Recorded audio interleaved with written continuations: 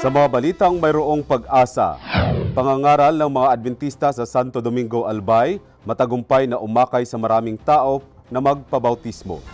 Sidewalk evangelism inilunsad ng mga Adventista sa Cavite.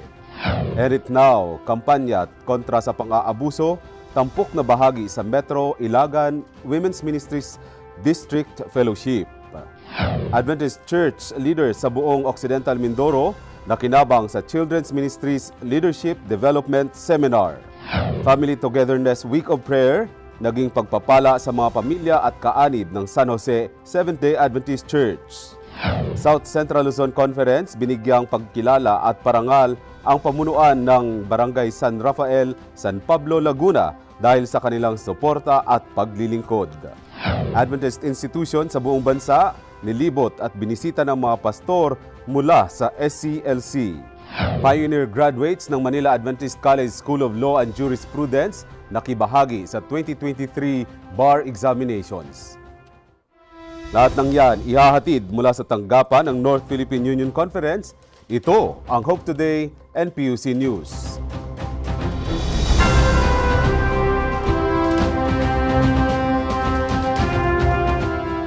Masayang pagbati sa inyong lahat. Narito kaming muli upang maghatid ng balita at mga pinakabagong update sa paglilingkod ng mga 70 Adventist sa teritoryo ng North Philippine Union Conference sa Luzon. Dalawang linggong Health and Moral Recovery Seminar ang isinagawa ng mga Adventista sa Santo Domingo, Albay. Ang nasabing bayan ay isa sa mga lugar sa Southern Luzon Mission Territory na hindi pa nagkakaroon ng ganitong pangangaral at gawain kailanman tunghayan kung paanong nagtagumpay ang gawain ng Ibanghelyo sa nasabing lugar sa balitang may pag-asa ni James Matthew Burse. Matapos ang dalawang linggong pangaral, laging mainit at positibo ang pagtanggap ng mga dumalo dito sa Fidel Sortida, Santo Domingo Albay. Narito ang aking ulat. Ang bayan ng Santo Domingo ay considered as an entered territory sa Southern Luzon Mission. Ngunit dahil sa panukala ng Panginoon, ipinadala niya ang The Living Discoveries Team upang maghatid ng mensahe ng pag-asa at kaligtasan. Sa ginawang gabi-gabing pangaral, hindi lamang sila nasiyahan kundi nabuksan din ang kanilang kaisipan sa mga natuklasan nila sa kalusugan at Biblia. Kita sa katuwaan ng grupo na maluwag ang pagtanggap ng mga dumalo sa mga katotohanan at sa pag-ako ng banal na bautismo. Ang mga tao na lalo na ngayon na isang pamilya na aking nadala sa kanyang paanan ay lubos ang aking pasalamat sa Panginoon. Beyond words, pagpapasalamat, pagpupuri sa Panginoon, magkaigwaki, fulfillment na isang memories na hindi ko makalimutan. Aming nakapanayam din ang tagapagsalita ng The Living Discoveries. Kanyang ikinuwento naman ang konsepto sa ideyang ito. Ang Living Discoveries ay dumating sa aking idea nung ako'y nag-uumpisa sa evangelism. Kasi ang aking idea ay ang discoveries ay buhay na ito'y tuloy-tuloy na sinimulan nito ng ating Panginoon simula noon na dapat madiscover libre ng lahat ng mga tao. Kaya ito'y Health and Gospel Seminar. Isang malaking sekreto sa tagumpay na natamo sa bayan ng Santo Domingo ay ang pagiging aktibo ng mga care group members. Binigyang diin ni Pastor Joven Hitosis ang papel ng care group ministries sa gawain sa Southern Luzon Mission. Pag nakuha natin ang tunay na gawain ng care group ay talagang lalago ang iglesia hindi lang lalago ang numero, pati yung pananampalataya ng kapatid na imbwelto sa gawain ay lalakas at lalo silang magiging masaya sa paglilingkod sa Panginoon sapagkat makikita nila ang bunga ng kanilang pagpagal. Hindi lamang sa salita mula sa Panginoon naging pagpapala ang grupo, kundi sa kanila ding pagnanais na matulungan ang mga residente sa kanilang mga kalusugan. Bit-bit ang mga medical equipment at mga gamot, sa mahigit na limang raang na pagsilbihan dalawang raan na nakatanggap ng free medical check-ups at mga gamot, isang daan sa dental services, dalawang daan sa optical services, at anim na po sa libreng tuli. after uh, bali culmination activity ito ng uh, Living Discoveries. So kahapon nagkaroon ng baptism. Then ngayon, uh, majority ng recipients dito, yung lahat ng mga attendees nung nakalipas na two weeks.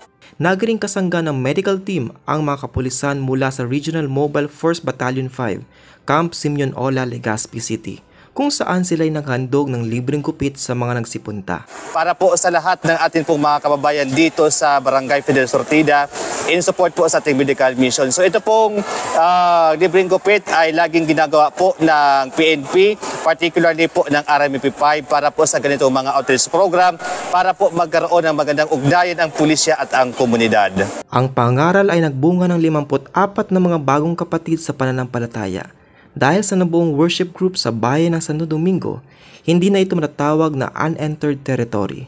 Ang gawain sa lugar na ito ay magpapatuloy na lalago sa pamamagitan ng biyaya ng Panginoon at aktibong paikasangkot ng bawat isa. Mula dito sa Southern Luzon Mission, may layunin makapagatid ng mga balitang may dalang pag-asa. James Matthew Bursa nagbabalita para sa Hope Today and News. Matagumpay na inilunsad ng mga Adventista ang sidewalk evangelism sa Cavite. Ang nasabing programa o initiative ay isinusulong ng Seventh-day Adventist World Church o General Conference at una ang Cavite Mission na maglungsad ng gawaing ito sa buong bansa. Ano nga ba ang sidewalk evangelism? Alamin sa balitang may pag-asa ni Patrick Vista. Hindi napigilan ng sama ng panahon ang paglulunsad ng Sidewalk Evangelism Initiative ng General Conference dito sa teritoryo ng Cavite. Sinimula ng launching ng Sidewalk Evangelism sa maiksing devotional at sinundan nito ng mabusising orientation tungkol sa pagsasagawa nito. Ang paglulunsad na ito ay pinangunahan ng Pangulo ng Cavite Mission, Pastor Israel Bakdayan, at ng NDRIL Director, Pastor Alonesto Regio at naging malaking kabahagi ng programa ito ang General Conference Sidewalk Evangelism Initiative Representative na si Brother RJ Gamboa. So, Sidewalk Evangelism is a GC initiative, and the General Conference is under the umbrella of Sabbath School Personal Ministries. And what it is is just empowering our lay people to be involved using this initiative. So, it's very simple, very simple. It's just inviting prayer and Bible studies. So, that's it, very simple. Pero one of the biggest ways is one to, to get the members involved is through invitation. So, we invite people, get the Sabbath School people, everyone to invite that to the people in the streets, whether it be in a sidewalk or whether it be sa uh, market or wherever it may be, just invite them and use the lay people to do that. And also use the lay people to disciple those newly coming baptized members as well. So we use them use, doing the discipleship handbook. And that one is a very excellent way to utilize church members, leaders, and lay together. Isinasagawa po natin ngayong araw po na ito ang ah, Sidewalk Evangelism at ito po ay kauna-unahan po dito. Kung hindi man po sa buong North Philippines ay dito po sa Cavite Mission ay tayo po ang nauna na ah, gumawa ng inisyatibo na ito. Ginagawa na rin naman po natin ito sa ating pong mga lugar o mga iglesia. Kaya lang marahil hindi po ito yung tawag natin. Baka ang ating pong tawag ay simpleng pamimigay lamang ng mga babasahin o kaya invitasyon para sa mga ah, religious ah, ano natin activities pero ito po ang sidewalk evangelism. Actually po ang rationale po naman nitong ating ah, Cavite Mission na sidewalk evangelism ay napakasimple. Mingling and inviting. Ano pong ibig sabihin? Tayo po ay pupunta sa mga tao sa komunidad, sa mga sidewalks o kahit doon sa mga lugar po na hindi naman masyadong matao pero alam natin na may makatatanggap ng ating mga invitasyon. Invitasyon po saan? Invitasyon po ito para sa Bible study. Pero of course, mayroon po tayong pamphlet na ipinamigay sa ating po mga kapatid na dumalo ng orientation and launching ngayong araw dito po sa Ayas. Hatid ang balitang may pag-asa. Ako si Patrick Vista, nag-uulat para sa Hope Today NPUC News. Kampanya kontra sa pang-aabuso ang isinusulong ng Women's Ministries Fellowship ng Metro Ilagan District sa Paluweg uh, Seventh-day Adventist Church, Isabela. Sa ilalim ng uh, End It Now campaign ay taon-taong itinataas ng simbahang Adventista ang awareness laban sa abuse o iba't ibang uri ng pang-aabusong nararanasan lalo na ng mga kababaihan at kabataan. Ang balitang may pag-asa hatid ni Eliezer John Manuel upang matuldukan na ang pag-aabuso sa kapangyarihan, nagtipon-tipon ang grupo ng kababaihan o Women's Ministry ng Metro Ilagan dito sa Palwig Church na nasasakupan ng Northeast Luzon Mission upang isagawa ang End It Now Emphasis Day 2023 na may temang Walls in Ships Clothing. Dinaraos ang End It Now Emphasis Day Fellowship na pinapangunahan ng grupo ng mga kababaihan dito sa distrito ng Ilagan. Ang nasabing fellowship ay pangmalawakang aktibidad na kabilang sa World Church Calendar of Day and Events na programa ng General Conference Women's Ministries na idiniraos tuwing ikaapat na sabat ng buwan ng Agosto. Subalit ang distrito nga ng Ilagan ay napaliban ang pagdaraos nito ang Edit Now Emphasis Day ay ginagawa taon-taon ng Women's Ministries Department at ang tema po natin ngayong taon na ito ay Wolves in Sheep Clothing na kung saan may mga uh, nagbabalat kayong mga tupa na handang uh, sakmalin yung mga ating mga kapatiran na uh, mga ma mahihina. Kaya ang focus nitong ating team na ito ay about sa uh, support sa ating mga na-abuse na mga kapatid Layunin nga ng fellowship na palawigin ang pananampalataya ng mga kababaihan at palalimin ang relasyon ng bawat isa, higit sa lahat ang kanilang relasyon sa Panginoon. Sa sa mga mahalagang malaman ng mga kababaihan kaya nagkaroon ng Women's Ministries Fellowship ay kung paano tumigil ang pang-aabuso sa mga kabataan, sa mga kababaihan, at kahit sa mga kalalakihan. Nagkaroon sila ng awareness para sila yung proponent upang sa ganon kung yung taong naabuso ay maari nila itong idulog sa kinauukulan sa ating Panginoong Diyos at uh, mararamdaman din ng taong naabuso na merong nagmamahal sa kanila. Kasabay nga nito ay ginanap din ang Reeco Seminar tungkol sa Children's Ministry na pinangunahan ni Sister Gina Ariola at ibinahagi rin ni Sister Melanie Espiritu ang seminar patungkol sa caring for singles. Kinalaunan ay nagkaroon rin sila ng pagkakataong pumili ng bagong mamumuno sa grupo ng mga kababaihan sa nasabing distrito fellowship na naganap dito sa Paliwek Church na kung saan natutunan namin kung paano namin sugpuin okay, ang pang-aabuso, lalo nung lalo na sa mga kabataan. Kailangan na may time kami sa mga anak namin upang sila'y protektahan sa anumang mangkahat karahasan na nangyayari. Bilang pagtatapos ng Women's Ministry Fellowship, ay pinagkaloob ni Pastor Ryan Tabago ang commitment service upang formal na isara ang nasabing programa. Layuning maghatid ng balitang may pag-asa, Elizer John Manuel para sa Hope Today, NPUC News. Magkakasamang nakinabang at pinagpala ang Adventist Children's Ministries leaders sa kanilang pagdalo sa Leadership Development Seminar na isinagawa sa San Jose Seventh-day Adventist Church. Ang nasabing seminar ay bahagi ng nagpapatuloy na paglago ng gawain at mga programa para sa mga bata sa buong Occidental Mindoro area.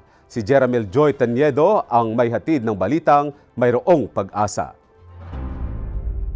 Nagsama-sama ang iba't ibang children ministry leader ng buong Occidental Mindoro para sa isang area-wide leadership development training seminar dito sa San Jose Seventh-day Adventist Church. Ginanap ang programang ito noong Setyembre taong kasalukuyan sa pangunguna ng Occidental Mindoro Area Children Ministries Department na mayroong temang Bridging the Gap, Every Child Matters. Kinoordinate namin mula sa pinakadulong district, ang NOM 1 hanggang SOM 2. At nagkaroon tayo or nag-participate ang 5 districts at meron tayong more or less 32 children's ministries leader na umattend at mga teachers sa ating paaralan.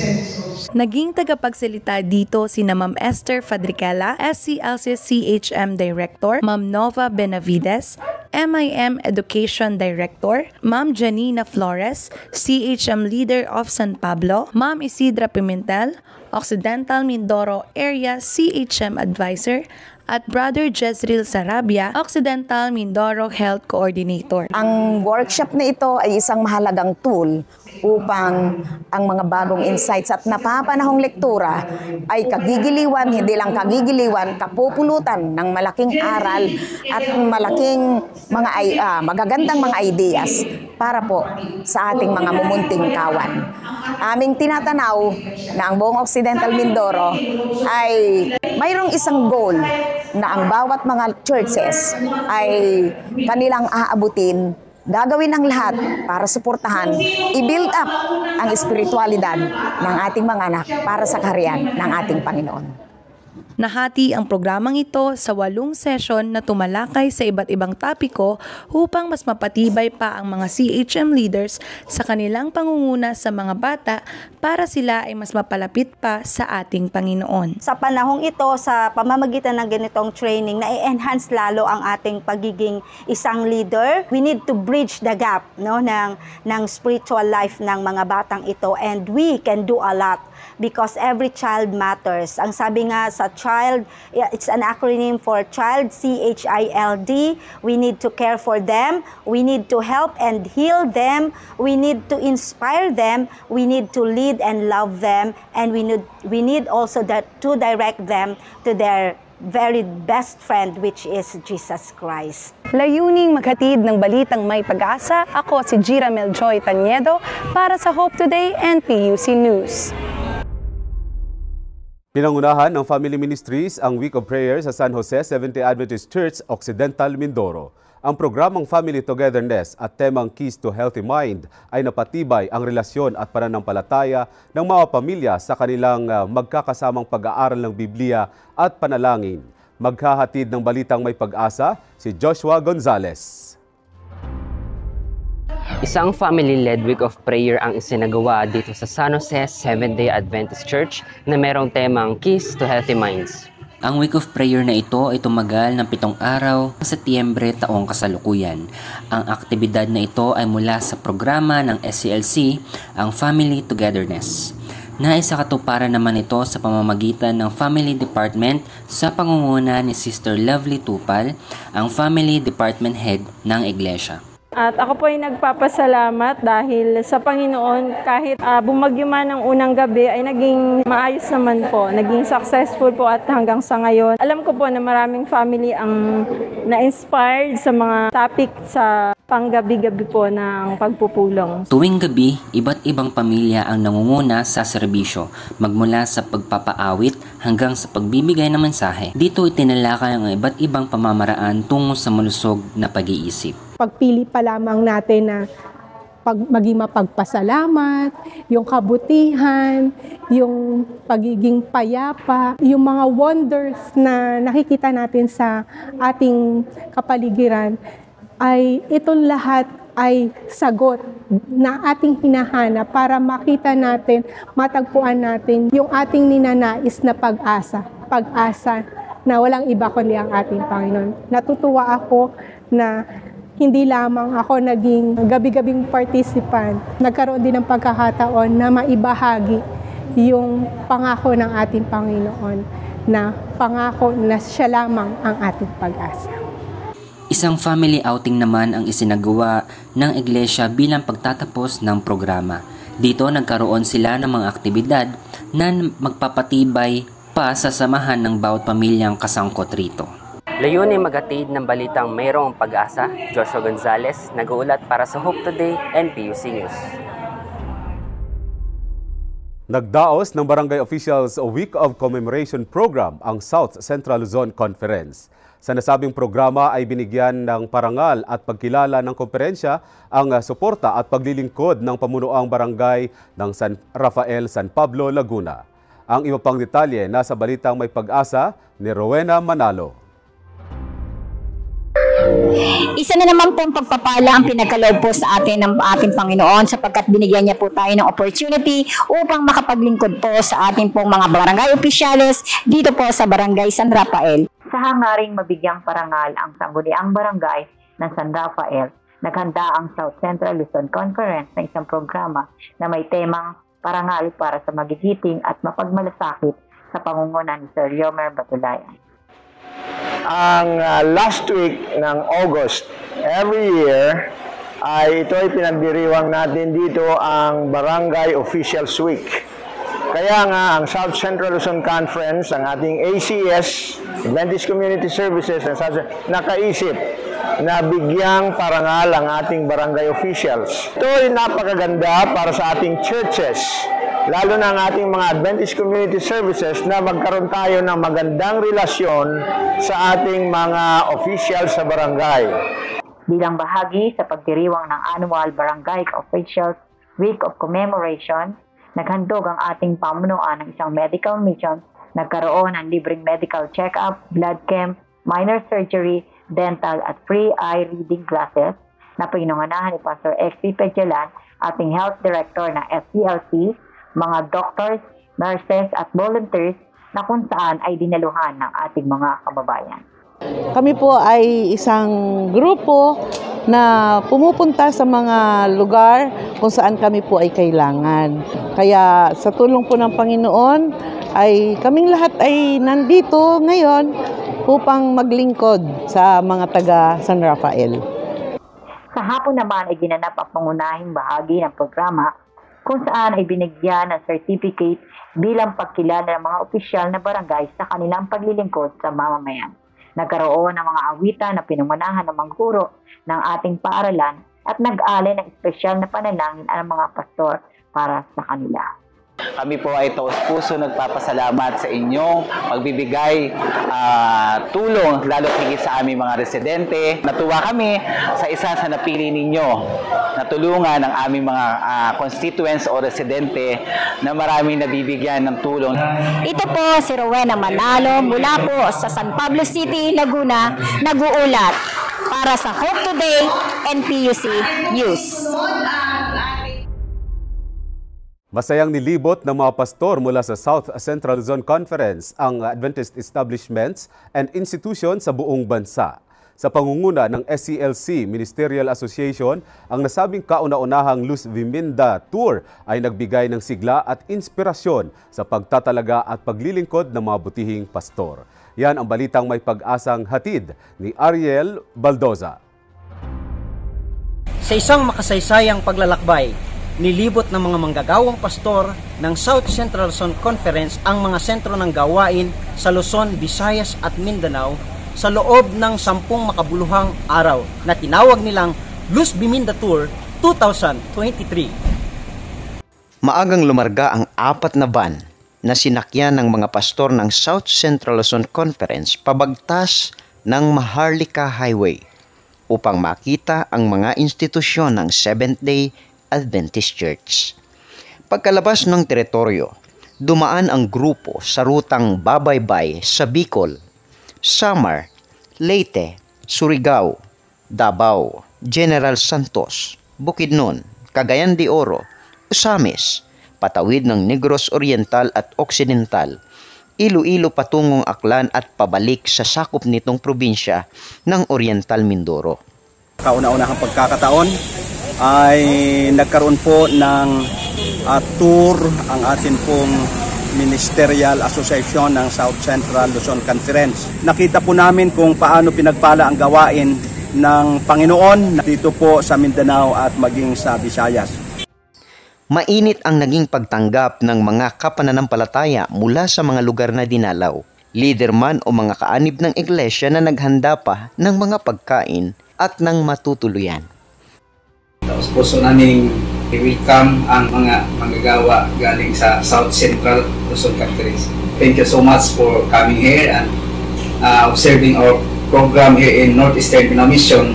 Pabaon pa nga ang iba ng ilang palatandaan ng mainit nilang pagpapatuloy. Hindi ko nakikita ang kaibahan sa kanilang mga approach at sa kanilang pagiging hospitable. They do their best for uh, the joy of their visitors. Ikinatuwa ng mga manggagawa na mabisita ang mga tanggapan ng gawain, mga hospital at mga paaralang kagaya ng Mountain View College at Central Philippine Adventist College. Ito naganap na tour ay uh, napakaganda sapagkat dito natin makikita ang kabutihan ng Panginoon sa napakaraming mga institusyon na dinaanan natin. Ang paglilibot ay naging pagkakataon din na makadaupang palad at makakilala ng mga bagong kaibigang kapananampalataya. Bumisita rin ang mga manggagawa sa ilang mga lugar na mahalagang bahagi ng pagkakakilanlan at kasaysayan ng bansang Pilipinas. So ang tour po na ito ay isang napakagandang experience lalo sa akin bilang batang manggagawa na nakasama ako dito and napuntahan ko ang iba't iba nating institutions especially sa Visayas and Mindanao na hindi naman palaging napupuntahan. Naging malaking bahagi naman ng nasabing pag-iikot ang paglilingkod sa pamagitan ng pamimigay ng mga babasahin. Tunay na ang ganitong paglalakbay ay nakakapagpalawak ng isipan, nagbibigay ng kaunawaan sa lawak ng gawain at karanasang patunay sa pag-iingat at pamamatnubay ng Panginoon.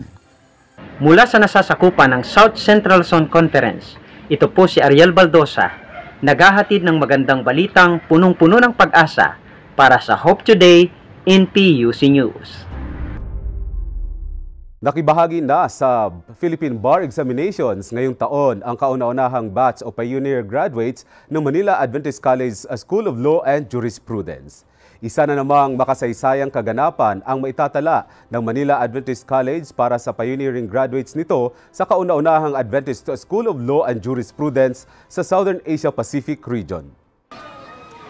Animoy cheering squad ang mga supporter mula sa iba't ibang law school sa Metro Manila at karating na probinsya habang hinihintay ang paglabas ng mga barista mula sa Manila Adventist College bilang isa sa labing-anim na bar exam site ngayong Setyembre 2023.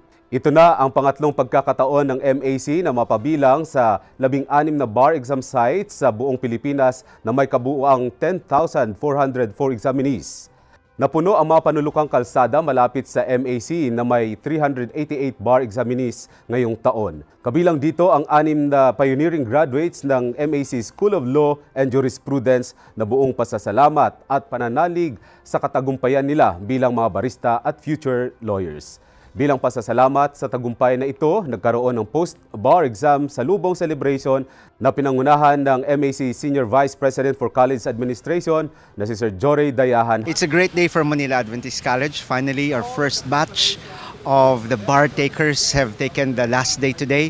And so we're hopeful, we're praying that uh, our six takers are, are going to pass the bar and bring honor to, to, to God's name.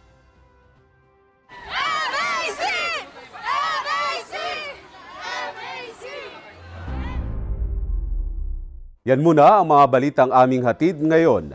Palaging tumutok sa Hope Channel Philippines para sa mga update sa ating mga kapatid at kanilang mga paglilingkod sa buong Luzon ngayong taon. Tuloy-tuloy pa rin ang online programs and services dito sa Hope Channel North Philippines at sa lahat ng Adventist Facebook pages na naka-flash ngayon sa inyong screen. Laging subaybayan ang programang Hatid ng Adventist World Radio sa buong Mega Manila. Pakinggan ang Morning Watch, Voice of Health at Tinig ng Pag-asa sa DWBL, sa DZXL, DZRJ at DZRH, lunes hanggang linggo sa kanilang mga oras at himpilan. Mapapanood din ang teleradyo ng mga programang iyan sa Facebook pages ng AWR Luzon, North Philippine Union Conference, Central Luzon Conference, Adventist Medical Center Manila at pages ng nasabing radio stations. Sa aming mga kaibigan news contributor, tuloy-tuloy pa rin ang aming pagtanggap ng mga balitang nais ninyong maisama sa ating mga news episode. Ipadala ang mga ito via email sa news at hopechannel.ph o gamitin ang hashtag NPUC News sa inyong mga social media post. Mula dito sa North Philippine Union Conference, ang ngalan ni Pastor Joel Sarmiento, ako si Rodel Umayana at ito ang Hope Today NPUC News.